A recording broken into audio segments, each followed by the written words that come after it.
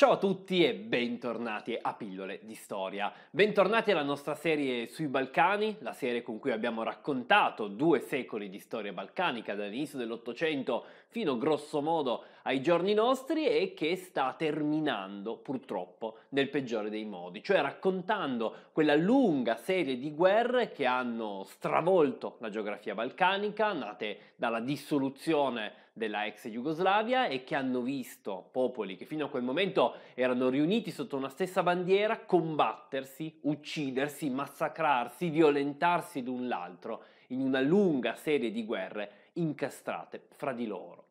Nella scorsa puntata abbiamo raccontato dell'inizio della guerra in Bosnia, quella che, come ho già detto la settimana scorsa, per tutti coloro che sono nati negli anni Ottanta è probabilmente il primo vero contatto con una guerra, quella guerra di cui si parlava nei telegiornali, che sembrava essere allo stesso tempo così lontana da noi, almeno mentalmente, eppure era così vicina appena al di là dell'Adriatico. È una guerra che, come abbiamo visto nella scorsa puntata, è nata in uno Stato che già di suo era spaccato tra diverse etnie, che in qualche modo fino a quel momento erano sopravvissute insieme, avevano coabitato nello stesso spazio e che improvvisamente si trovarono a combattersi. Il perfetto esempio di quelle che sono state proprio le guerre jugoslave. Questa volta narreremo della guerra in sé Parleremo dal 1993 fino al 1995 quando terminerà e cercheremo di capire che cosa è realmente successo in quella terra così devastata. Ovviamente senza parlare di tutte le possibili battaglie, possibili scontri, possibili massacri, quelli se volete potete approfondirveli voi,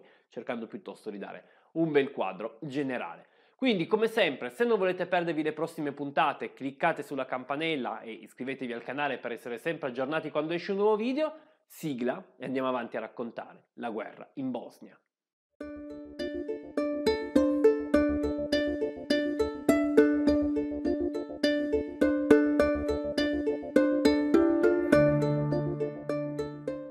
La premessa, come sempre in questa serie, è che se non vi siete visti le puntate precedenti potrebbe essere un po' complesso capire questa, quindi vi conviene almeno recuperare le ultime puntate sulla Jugoslavia perché come vedrete questa puntata metterà un po' insieme tutti i tasselli per raccontare gli ultimi tre anni di guerra in Bosnia.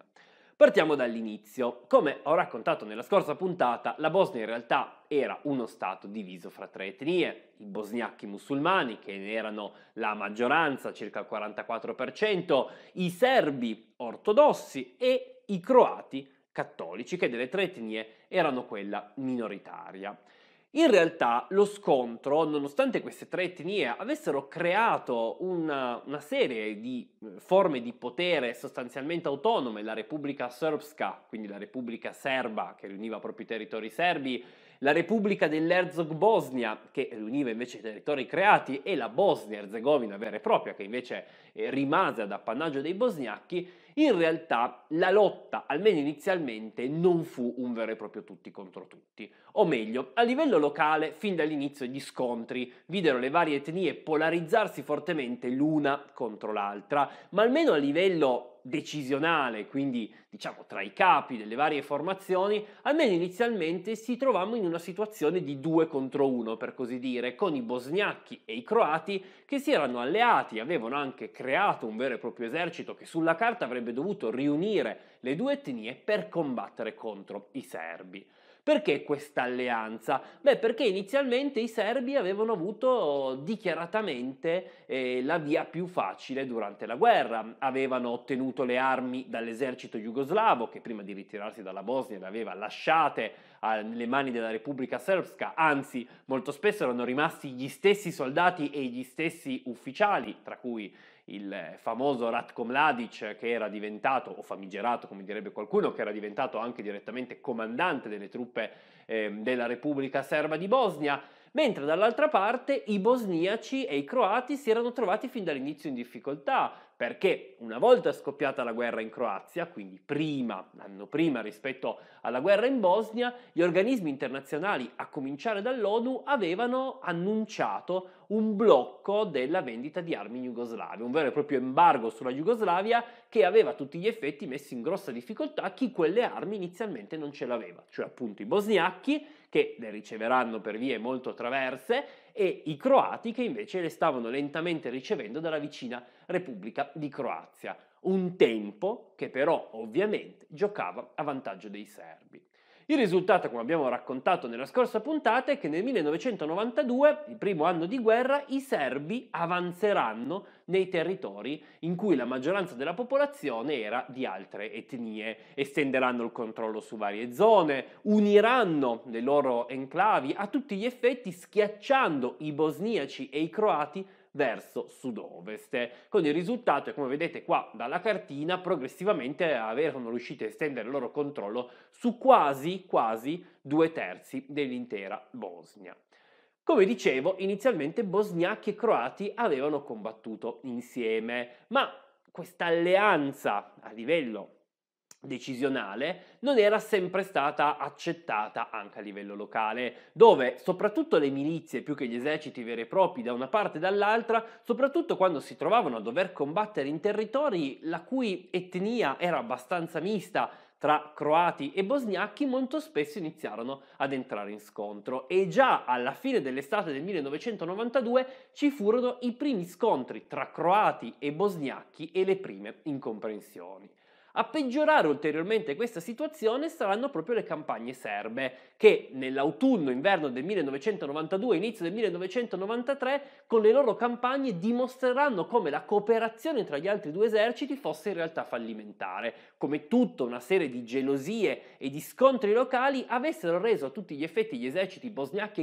e croati impossibilitati a fermare i serbi nella loro avanzata. Ovviamente le due parti avevano iniziato ad accusare l'una l'altra di non voler cooperare, di preferire che i serbi conquistassero altro territorio piuttosto che aiutare a difenderlo e questo non aveva fatto che aumentare le incomprensioni. Per cercare di risolvere questa questione, all'inizio del 1993 Tudjman, presidente della Croazia, che a tutti gli effetti eh, fungeva da protettore della Repubblica di Herzog Bosnia, e Izetbegovic, Alija Izetbegovic, che era il presidente bosniaco della Bosnia e Herzegovina, si erano incontrati. Avevano deciso di porre ufficialmente fine a queste divergenze e creare un vero e proprio comando unificato tra i due eserciti. Questo tentativo però era fallito fin dall'inizio e a peggiorare ulteriormente, come se non ne bastasse ancora la situazione, ci si misero anche le Nazioni Unite, che proposero proprio tra la fine del 1992 e l'inizio del 93 l'ennesimo piano di divisione della Bosnia, che prevedeva un unico Stato al cui interno sarebbero però sorte delle entità autonome, a seconda semplicemente di chi avesse la maggioranza etnica in certi villaggi, un piano che sarà rifiutato praticamente da tutte le etnie, con i serbi che tra tutti erano forse quelli più convinti della cosa, anche perché veniva assegnato a loro un grande territorio, ma che nonostante fosse stato rifiutato e quindi non fosse entrato in realtà in azione, a tutti gli effetti sarà utilizzato dall'esercito sul campo per giustificare espulsioni, migrazioni forzate e violenze anche appunto nei villaggi misti croati e bosniaci. All'inizio del 1993, nonostante il tentativo di accordo tra Izetbegovic e Tudjman, i due eserciti iniziarono ufficialmente a scontrarsi. È difficile dire chi dei due iniziò a combattere, ma sicuramente uno dei simboli, se non il vero e proprio simbolo di questa guerra, che viene chiamata proprio la guerra tra croati e bosniachi, quasi come fosse una guerra all'interno delle potremmo dire quasi guerre bosniache, il simbolo di questo scontro sarà la città di Mostar, che vedete qui sulla cartina. Mostar era una città multietnica quasi per eccellenza, una città di circa 100.000 abitanti, di cui 44.000 erano bosniachi e 44.000 erano croati. Una città che da tantissimo tempo aveva le sue componenti eh, multietniche che si erano praticamente divise in due zone, due zone di città che fino a quel momento avevano sempre cooperato l'uno con l'altro, rendendolo a tutti gli effetti una città simbolo di questa cooperazione tra bosniachi e croati. I primi a impossessarsi della città erano stati proprio i croati, che l'avevano occupata, avevano scacciato i bosniachi ed erano riusciti a prenderne completamente il controllo, anche se i bosniachi avevano mantenuto il controllo del territorio intorno. A Mostar di armi ce n'erano e come, anche perché proprio Mostar era stata, se vi ricordate, l'abbiamo raccontato nella scorsa puntata, all'inizio della guerra uno dei primi obiettivi da parte delle forze armate jugoslave, che avevano cercato di prendere controllo della città e che una volta che si erano ritirati avevano lasciato lì delle armi che erano state ovviamente razziate da entrambe le parti in causa. I bosgnacchi non ci metteranno molto ad organizzare una risposta. In realtà nel 1993 i bosgnacchi organizzarono una lunga serie di offensive che progressivamente riconquistò una buona parte del territorio eh, croato. Si stima che quasi un 20% del territorio, 20-30% del territorio che era controllato dai croati dalla, alla fine del 1992 sarà riconquistato nel corso del 1993 dai, dai bosniaci e tra questa parte di territorio ci sarà anche una grossa parte della città di Mostar che però fino alla fine del conflitto rimarrà divisa in due parti. Il risultato fu che la città sarà completamente devastata, la sua popolazione costretta a fuggire verso la zona bosniaca o verso la zona croata e un continuo fuoco di artiglieria da una parte e dall'altra la devasterà. Il simbolo di questa distruzione sarà il crollo nel novembre del 1993 del cosiddetto Stare Most, cioè il ponte vecchio di Mostar, l'unico ponte fino a quel momento che era rimasto sul fiume che divide a metà la città e che si trovava nella zona controllata dai bosniaci. Si dice che fosse una zona di confine, ma non è vero, si trovava nella zona controllata dai bosniaci che peraltro lo utilizzavano e che sarà distrutto, nonostante facesse parte del patrimonio artistico della città, sarà distrutto dal fuoco di artiglieria dei croati. Quel ponte, che sarà poi ricostruito anni dopo e che un po' è il, il, simbolo della rinascita della Bosnia, sarà ricostruito, pensate, andando proprio a cercare sotto nel fiume le pietre e riutilizzandone il più possibile, Quel ponte, la sua distruzione, non è considerata crimine di guerra perché i tribunali internazionali hanno valutato che in effetti il ponte avesse una valenza militare, ma da allora si è molto ridiscusso su cosa sia un crimine di guerra quando va ad inficiare sul patrimonio artistico di una nazione. Ma ve lo lascio come curiosità, il ponte di Mostar, il ponte vecchio di Mostar è sicuramente uno dei simboli di questa guerra. Ad ogni modo, nel 1993, nonostante la distruzione di quel ponte, come vi dicevo, i bosniaci passarono, i bosniachi passarono al contrattacco e ben presto i croati chiesero di poter tornare a discutere di una pace. Tudjman, che fino a quel momento in funzione antiserba aveva sempre cercato di porre fine in qualche modo a questa guerra, pur appoggiando ovviamente i croati in Bosnia, alla fine decise di trattare. E grazie alla mediazione delle Nazioni Unite, grazie alla mediazione degli statunitensi, il 18 marzo del 1994 le due fazioni, quindi la fazione croata e la fazione bosniaca, giunsero ad un accordo che sarà firmato a Washington, proprio con Tudjman e Izebegovic come rappresentanti delle due etnie, due etnie che accettarono di porre fine alla guerra, accettarono di rientrare all'interno dello stesso Stato, quindi la Repubblica di Herzog Bosnia a tutti gli effetti scomparve, venne riassorbita all'interno della Bosnia-Herzegovina, con al contrario i bosgnacchi che accettarono che i territori abitati dai croati, quelli che ancora erano sotto il loro controllo, venissero divisi in una decina di province semi-autonome all'interno comunque della Bosnia-Herzegovina, in questo modo mantenendo comunque una certa autonomia, un'autonomia su cui avrebbe vigilato la Croazia. In realtà alcuni dicono che questo accordo fu molto spinto da Tudjman, quindi presidente della Croazia, perché in cambio della firma di questo accordo e quindi in qualche modo iniziare a porre fine alla guerra in Bosnia, la Croazia ebbe tutta una serie di aiuti da parte delle, eh, degli, degli, degli, stati esteri, a cominciare ovviamente da quelli che facevano parte della Nato, che forniranno armi, forniranno supporto e soprattutto prometteranno alla Croazia un futuro ingresso proprio nella Nato, in questo modo cercando di ufficialmente staccare e anche schierarsi in questa guerra proprio dalla parte croata. Sono voci, secondo molti analisti, abbastanza fondate, ad ogni modo, in qualche modo, questa prima fase della guerra bosniaca in questo modo si riuscì a chiudere.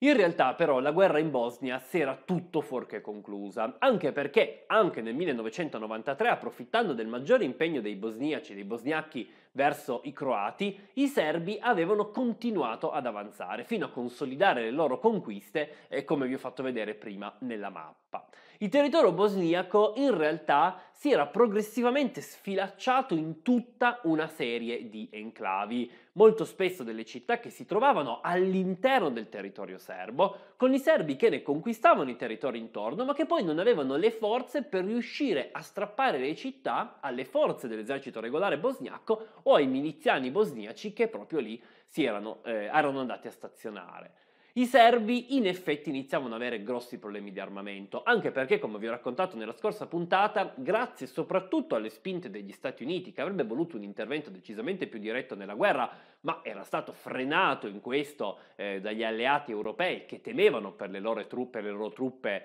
eh, in campo insieme all'ONU, ebbene fin dalla fine del 1992 si era andata a creare una vera e propria no-fly zone con cui le forze della Nato, gli aerei della Nato avevano semplicemente bloccato il volo di qualunque aereo, in questo modo togliendo un grosso vantaggio proprio alle forze serbe. A questo punto i serbi, non riuscendo a conquistare quelle enclavi, che peraltro molto spesso iniziarono a essere protette dalle forze delle Nazioni Unite, che estesero la loro protezione a tutta una serie di enclavi sicure, che poi particolarmente sicure non erano, ma questa era la denominazione, i serbi, non riuscendo a conquistarle, iniziarono a metterle, a cercare di prenderle per fame, assediandole, bombardandole continuamente, impedendo ai cittadini di uscire e sperando in qualche modo di poterli appunto prendere per fame.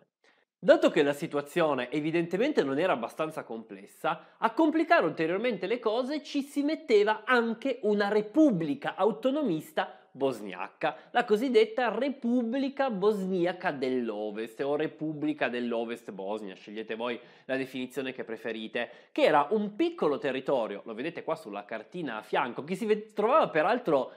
vicino ad un'altra enclave, questa volta fedele al governo di Sarajevo, incastrata fra i territori della Repubblica Srpska, quindi dei serbi di Bosnia, e della Kraina, quindi dei serbi di Croazia, vedete che, che caos che c'è assolutamente in questa cartina, bene, quella repubblica delle, dei, bosni, dei, bosniaci occidentali, dello, dell'ovest Bosnia, quella repubblica era formalmente autonomista ed era alleata proprio con i serbi contro il governo centrale. A governarla era Fikret Abdic, che aveva partecipato alle elezioni che avevano portato eh, Izetbegovic al potere, era uno degli uomini più ricchi di Bosnia e aveva creato questa specie di piccolo dominio personale intorno alla sua fabbrica, l'Agromet, che era una dei principali produttori di cibo in Bosnia ai tempi della Jugoslavia e una delle fabbriche più ricche proprio della Bosnia intera. Attorno a questa fabbrica, sfruttando ovviamente il suo denaro e sfruttando anche la fedeltà di chi in quella fabbrica lavorava, aveva creato questa piccola enclave che nel 1994 i bosniaci avevano riconquistato con la cosiddetta Operazione Tigre. Una riconquista che però era durata pochissimo e che era stata poi riportata alla situazione precedente dall'Operazione Ragno portata avanti dalle forze serbe. Inutile dire che ognuna di queste operazioni si era poi trasformata in un bagno di sangue per le popolazioni locali, che ogni volta che venivano conquistate venivano sottoposte a violenze, stupri, saccheggi, uccisioni, oppure costrette a spostarsi in una direzione o nell'altra, con il risultato di aumentare ancora ulteriormente la massa di profughi che già stava crescendo e che premeva o si era già spostata nei territori vicino o si stava spostando verso l'Europa, cercando ovviamente scampo da questa guerra che sembrava non avere mai fine. Questa situazione di continui assedi da parte delle forze serbe alla Bosnia si può essere rappresentata in maniera perfetta da due assedi in particolare, l'assedio della capitale, cioè Sarajevo, e l'assedio della città di Srebrenica, di cui in parte abbiamo già parlato nella scorsa puntata. Nonostante questi assedi sulla carta fossero ovviamente favorevoli ai serbi che mantenevano il controllo delle colline intorno alla città, in realtà ben presto divennero eh, ciò che spostò l'opinione pubblica occidentale tra un deciso non interventismo diretto alla volontà invece di intervenire direttamente a favore proprio dei bosniaci e la causa furono una, sedi, una serie di massacri. Sarajevo, assediata fin dal 1992, era, come si diceva all'epoca, una città martirizzata, letteralmente martirizzata dalle formazioni serbe che dalle colline continuamente bombardavano la città, senza preoccuparsi che quello che stavano colpendo era un obiettivo militare o piuttosto era un obiettivo civile, con le forze dell'ONU che mandato di non intervento, non riuscivano mai ad intervenire su quello che stava succedendo perché molto spesso queste postazioni di artiglieria venivano poi spostate di volta in volta impedendo un intervento rapido. Ciò che farà cambiare le carte in tavola nel 1994 sarà il massacro, il primo massacro purtroppo, nel mercato di Marcale, un mercato che si teneva proprio a Sarajevo e che in giorno di mercato sarà colpito da un bombardamento, con un risultato di quasi 70 morti e quasi 120 feriti. Un massacro che rimbalzò sui telegiornali di tutta Europa e spinse alcuni stati europei ad appoggiare l'idea di un maggiore intervento statunitense. Un maggiore intervento che si tramutò nella possibilità da parte delle forze delle Nazioni Unite in campo di richiedere l'intervento degli aerei della Nato per distruggere postazioni di artiglieria intorno a Sarajevo che avessero iniziato a colpire. Gli Stati Uniti avrebbero voluto un'azione preventiva, ma intanto gli europei avevano accettato questa forma di intervento tardivo, che se da una parte non permetteva di salvare Sarajevo, almeno fino a quel momento, in qualche modo iniziava a schierare le forze occidentali contro quelle serbe. L'altra operazione che sancirà il cambio nella guerra sarà, come dicevo prima, l'assedio di Srebrenica. Anche Srebrenica, esattamente come Sarajevo, era sotto assedio dal 1992. La città si trovava all'interno di una zona abitata principalmente da bosgnacchi, che però si era trovata ad essere occupata dalle forze serbe, le quali avevano sostanzialmente svuotato i vicini villaggi, trasformato la popolazione in profuga, che era stata poi spinta all'interno della città.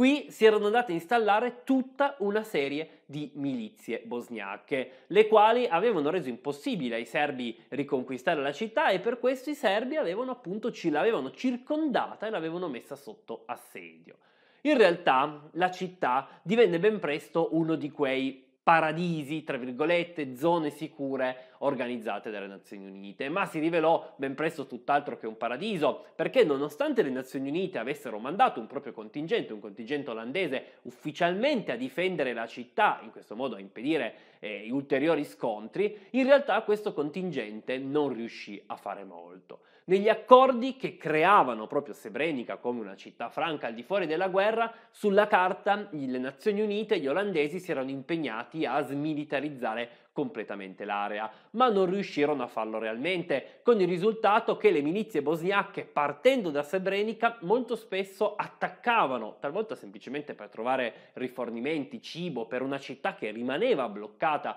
e sotto assedio, attaccavano i vicini villaggi serbi, provocando tutta una serie di morti per poi rifugiarsi nuovamente all'interno della città. E ovviamente i serbi rispondevano alla cosa facendo delle puntate verso il territorio di Srebrenica e a loro volta vendicandosi con tutta un'altra serie di violenze. A far crollare definitivamente questa, questo, mm, questa situazione nel luglio del 1995 sarà un'offensiva serba guidata direttamente da Ratko Mladic. Mladic, per quello che avvenne a Srebrenica nel luglio del 95, sarà accusato, in realtà non solo per questo, ma anche per tutta un'altra serie di avvenimenti, sarà accusato di crimini contro l'umanità. Ma sarà lo stesso Mladic a dire apertamente che anche i dirigenti della Repubblica Srpska, a cominciare dal suo presidente, sapevano assolutamente tutto quello che stava avvenendo e sarà proprio anche da queste dichiarazioni che molti altri dirigenti saranno poi quantomeno imputati dai tribunali internazionali. Mladic con le sue truppe riuscirà molto facilmente a travolgere le forze bosniache. Queste verranno attirate fuori dalla città, battute, costrette a fuggire all'interno di Srebrenica, scatenando letteralmente il panico tra la popolazione bosniaca che non sapendo dove ritirarsi, perché completamente circondati dai serbi, si rifugierà proprio nella vicina base olandese, con le truppe olandesi che inizialmente le accoglieranno cercando in questo modo di dar loro salvezza. Le truppe serbe però si rifiuteranno di fermarsi, raggiungeranno le forze olandesi che erano oggettivamente molto inferiori in numero e che avevano inizialmente cercato di attivare il sistema eh, aereo per cercare di fermare i serbi, sistema aereo che però non era riuscito a causa del maltempo a far più di tanto e quando i serbi si presentarono davanti ai cancelli della loro base accettarono di cedere, è brutto questo termine per delle persone umane ma non trovo niente di meglio, di cedere loro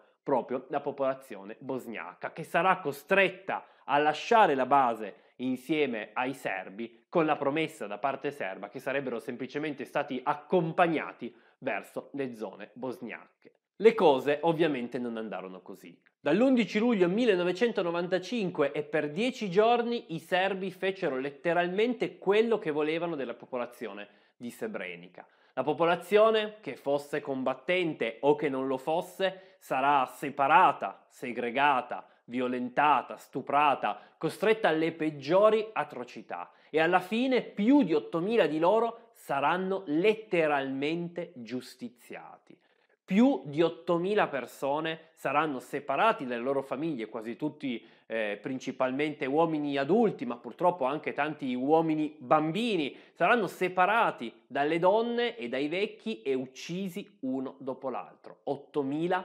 morti, un massacro senza precedenti i cui numeri verranno poi scoperti di lì a qualche mese quando si andrà a scavare nelle fosse comuni che erano state create dai serbi e si tirerà fuori uno dopo l'altro i corpi. I sopravvissuti, le sopravvissute principalmente, parleranno di tantissimi stupri, tantissime violenze, parleranno di come le truppe serbe, principalmente forze paramilitari, fossero quasi si divertissero per quel massacro incredibile. Quando i serbi, dopo dieci giorni, si ritirarono dalla città, scese un silenzio di tomba. In quegli stessi giorni, però, le cose per i serbi iniziano ad andare molto male. La guerra in Croazia stava terminando. Le forze croate, questa volta veramente in sincronia con quelle bosniache, lanciarono tutta una serie di offensive sia sul territorio croato che sul territorio bosniaco che molto rapidamente permisero alle forze alleate di riconquistare buona parte del territorio che era stato strappato dai serbi. Offensive che espas- espandettero scusa, il territorio eh, controllato dai bosniachi e dall'altra parte, come abbiamo raccontato due puntate fa, permisero ai croati di riconquistare tutto il territorio della ex Repubblica Croata. Ovviamente, perché purtroppo è quello che succede in questi casi, costringendo poi i serbi che si erano lì stanziati o che magari vivevano già veramente lì da moltissimi anni ad abbandonare le loro case e riversarsi nei territori della Serbia o della Repubblica Srpska. Di fronte a questo crollo del fronte, i serbi cercarono di rispondere aumentando le violenze, soprattutto su Sarajevo, tanto che ci sarà un secondo massacro del mercato nello stesso posto, questa volta fortunatamente con qualche morto in meno, che de- spingerà definitivamente la Nato per un interventismo, tanto che nei giorni successivi la Nato attaccherà e bombarderà distruggendole in circa una settimana la maggior parte delle postazioni di artiglieria serbe intorno a Sarajevo, con il risultato che i serbi saranno poi costretti alla fine di agosto del 1995 ad abbandonare la città ritirandosi verso i loro territori. Finalmente si giunse ad un cessate il fuoco. Un cessate il fuoco che ovviamente non pose fine immediatamente alle violenze che continuarono, ma che in qualche modo permise alle varie delegazioni di cercare una soluzione politica. Una soluzione politica che il 21 novembre 1995 porterà agli accordi di Dayton. Accordi che saranno poi sanciti da una pace firmata a Parigi di lì a qualche giorno che a tutti gli effetti posero fine almeno per quel momento, alle guerre jugoslave. Ovviamente in quegli accordi di Dayton rientravano tutta una serie di decisioni, tra cui quelle relative alla Croazia, al riconoscimento tra la Serbia e la Croazia nei rispettivi territori, ma anche una nuova organizzazione per la Bosnia. La Bosnia oggi è uno Stato unito dal punto di vista dei confini, ma diviso al suo interno, sostanzialmente in due grosse divisioni. Una parte serba della Bosnia, quella che appunto un tempo era la Repubblica Srpska, e la parte invece della Bosnia-Herzegovina abitata da bosniachi e croati. le tre etnie esprimono a turno il presidente che governa eh, tutto il paese. Un tentativo in qualche modo di ristabilire una situazione che alcuni avrebbero voluto probabilmente già dall'inizio, ma per la quale ci sono voluti molti, molti anni di guerra. In questa trattazione io ho parlato solo degli eventi principali, ma purtroppo ci sono una marea di eventi che potremmo definire secondari, almeno sulla eh, gestione dell'intera guerra, ma che in realtà ci parlano di continui massacri, spostamenti di popolazione, violenze. Si stima che alla fine solo nei combattimenti, solo nei conflitti, possano essere morti quasi 100.000 bosniaci di qualunque etnia, serbi, bosniachi o croati, a cui vanno aggiunti tutti quelli che hanno dovuto lasciare il loro paese, tutti quelli che sono morti di fame, di malattie, bambini che non avevano niente di cui mangiare, insomma tutto quell'orrore che abbiamo visto ai telegiornali all'inizio degli anni 90. Tutto quell'orrore aveva smosso il mondo, come vi ripeto da qualche puntata, un orrore che aveva dimostrato come in quel caso le Nazioni Unite non fossero in grado di intervenire direttamente e sarà proprio quella sensazione quasi di incapacità che forse sotto certi aspetti spiega il perché la successiva guerra in Jugoslavia, di cui parleremo nella prossima puntata, quella in Kosovo, vedrà un intervento completamente diverso, non da parte delle Nazioni Unite in questo caso, ma da parte della Nato ma ne parleremo nella prossima puntata. Io vi posso solo invitare ad approfondire questi argomenti. Sembrano lontani, sembrano lontani nel tempo, sembrano lontani nello spazio, in realtà sono avvenuti 25, 27, 28, 30 anni fa e sono avvenuti letteralmente dall'altra parte dell'Adriatico rispetto a noi. Quindi approfonditeli perché mostra come certi pericoli, pericoli degli ultranazionalismi, i pericoli eh, della guerra, non siano poi così lontano da noi come possiamo pensare. Spero in qualche modo di avervi dato intanto un quadro da cui partire, di aver magari risposto a qualche domanda e di aver stimolato la vostra curiosità. Quindi, se volete riascoltare questa pillola o le altre di questa serie, le trovate qua su YouTube, in descrizione c'è la playlist o le trovate sul nostro podcast, anche quello in descrizione. Se volete consigliarmi o scrivermi voi altre pillole, ci sono i nostri social, Facebook, Instagram, Telegram, dove c'è ovviamente una grossa comunità per parlare in storia, non ci sono, non ci sono solo io, la mail ovviamente e per il resto io vi ricordo di essere curiosi, perché la storia del mondo là fuori è piena di avvenimenti e storie fantastiche, storie incredibili che nessuno scrittore, nessun regista avrà mai la fantasia di mettere nelle loro opere e ogni tanto, come in questo caso, queste storie sono veramente degli incubi. Ad ogni modo, se volete scoprire qualcuna di, altra di queste storie, qui a fianco c'è l'elenco delle pillole uscite fino adesso. Noi ci vediamo presto con una nuova pillola di storia, ci vediamo settimana prossima per andare avanti a raccontare la storia dei Balcani. A presto, ciao ciao!